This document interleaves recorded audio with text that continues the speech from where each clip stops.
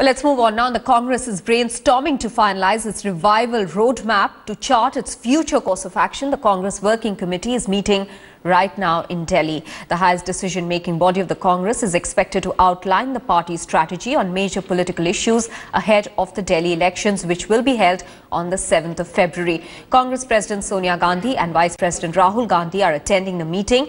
It's going to be a survival test for the Congress, which is looking to better its tally after the massive drubbing in the Lok Sabha elections and the recently concluded assembly elections. Well, the Congress managed to win only eight seats in the last assembly polls and its performance worsened in Lok Sabha elections where it didn't even open its account as all the seven seats were captured by the BJP in Delhi. Well, the Congress is likely to release its second list for which 39 names have already been finalized and top party sources have told headlines today that the list could include party heavyweights. Ajay Maken and Pranab Mukherjee's daughter Sharmishtha Mukherjee. The plan is to field former MPs and party heavyweights to stem the AAP tide and the BJP surge, both at the cost of the Congress in the state. Ajay Maken ke चेहरे ko सामने rakkar Congress ab चुनाव लड़ना चाहती hai. Kitna फायदा lagta hai आपको hoga? Achha hai, young leadership hai. Change होगा और हमेशा यही रहता है, घरों में भी यही रहता है सब जगह कि जनरेशनल चेंज होता है, ये जनरेशनल चेंज है and I am sure they will do well and not only generational change ये जनरेशन जो इस वक्त चेंज की गई है, वो सब के सब तजुर्बेकार भी है। सब मंत्री रह चुके हैं, सब पार्टी में रह चुके हैं, काम कर चुके हैं। तो ऐसा नहीं है कि अनजान हैं।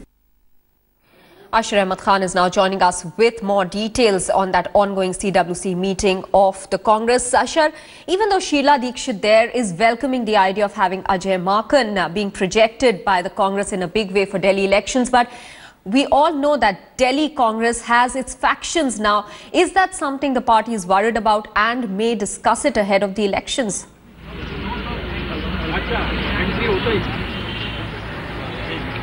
Well, uh, the party was certainly worried about that. In fact, uh, that was one of the specific reasons. That is why uh, the party lost also.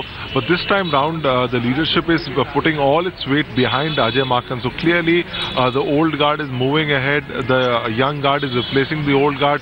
So in all, the party is trying to project a united face. They've also roped in ex-MPs, uh, the likes of Krishna Tirath, Mahabal Mishra and Ajay Maken. Uh, so, so as to ensure that there is unity in the party and everybody should unite uh, uh, together against uh, uh, the opposition parties, namely the BJP and the Aam Aadmi Party. So that is what the strategy. Though deep down, the Congress also understands that this is a very difficult election for them. The basic fight is between the Bharatiya Janata Party and the Aam Aadmi Party, but yet the Congress not giving up. They're trying to put their best foot forward, but. We'll have to wait and watch as to how this eventually pans out in the days to come. Ashar Ahmad Khan, many thanks for joining us with those details.